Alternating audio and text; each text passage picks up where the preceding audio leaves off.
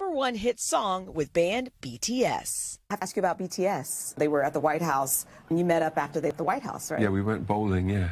You went bowling? Yeah. You don't say. With H.E.R. as well. How was that? And the guy in the, the lane next to us was like, Who are you guys?